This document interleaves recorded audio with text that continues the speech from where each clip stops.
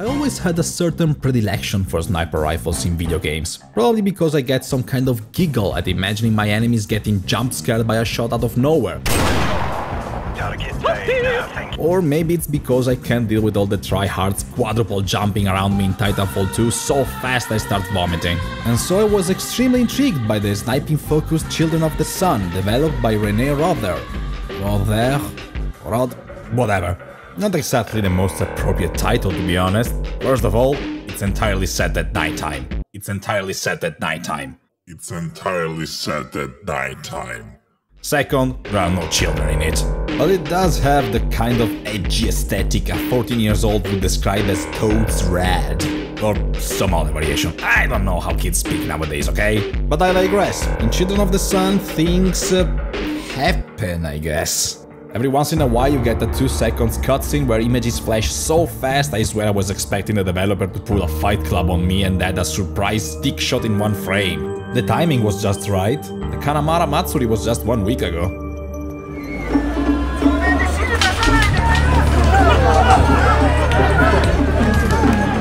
I'm sorry, René, I'm just not a big fan of games that try so hard to be cryptic and alternative with their storytelling. And by the time flying cars got involved, I kinda turned my brain off and went with emotion. You're some kind of a mixture between Javier Bardem in No Country for Old Men and Jared Leto's Joker in what I think is a revenge mission against the leader of some cult played by Big Lebowski in the town of... Uh, village name. Yep, that's a thing. We achieved that by decimating the various cultists we encounter level by level, but here's the kicker. You control your bullet in order to kill every enemy in each stage with a single shot, which basically turns this first-person shoot well, first bullet shooter into a puzzle game. We have some degree of control over the bullet trajectory, but we can completely change it only when we hit a target, which makes birds the most valuable resource in the entire game.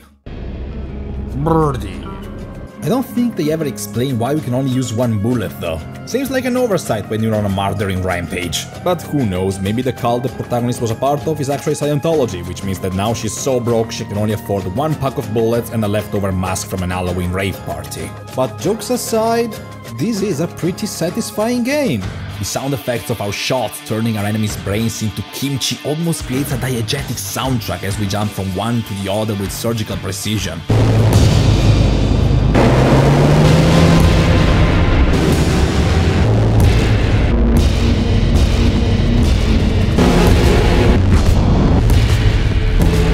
That is, when the actual soundtrack doesn't start blasting off. I get the idea here, a very grungy, underground and gritty atmosphere, but imagine listening to this cacophony non-stop for hours.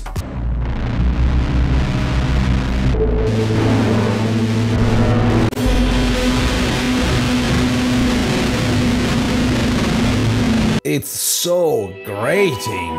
But at least it made me appreciate even more the few moments of silence. If anything because I adore the effects playing when you walk around.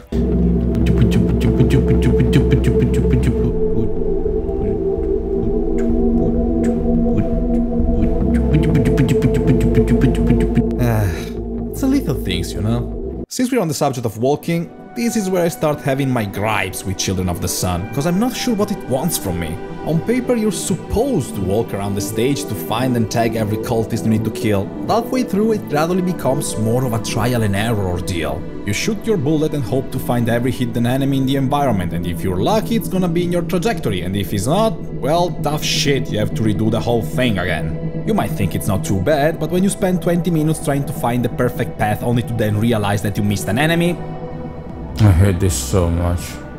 I hate this. Yeah, my patience was definitely tested. And I don't get why, because it would have been very easy to fix this, just have the enemies have a walking routine so that you could just patiently analyze the environment before committing to the shot, but no. The vast majority of them just stand still the whole time. The ones protected with heavy armor don't even flinch when you obliterate their friends right next to them. Oi, Jeremy, stop sleeping on the job, you wanker. Speaking of armor, they represent one of the three types of enemies, accompanied by your basic goons and then the make your drones from Doom Eternal. Armors can only be pierced if your bullet gains enough velocity, so you need to plan your path in order to put distance between one target and the other. But these guys? These braying assholes? They just cover themselves with a giant shield that can deviate your bullet, and first of all, fuck you. You're ruining my coward sniper power fantasy. Second, I hate them with burning passion. Given that there's only one very specific way to kill them, they create an added challenge for sure, but it also reduces the amount of freedom you have to approach each level where they're featured in, and that's without considering how frustrating the bullet deviation can get. I don't want to make too much of a big deal out of it, mind you, because Children of the Sun remains very fun throughout the entire experience, but this type of enemies really highlights how this game lacks the kind of experimentation I could have had with those Hitman sniper challenges, and that's because there's a complete lack of any physics-based elements. Aside from basic stuff like exploding cars, Children of the Sun doesn't ever lean into the kind of environmental puzzle I was hoping for. What we get here instead resembles more a vertical slice of a game that could have had a lot more potential, and that's probably why it's so short. It knows that it can't overstay its welcome, and I mean that in the most positive way.